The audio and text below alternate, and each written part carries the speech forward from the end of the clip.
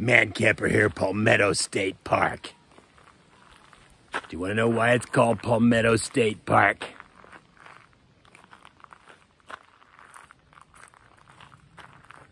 If you can't figure that out, I ain't gonna tell you.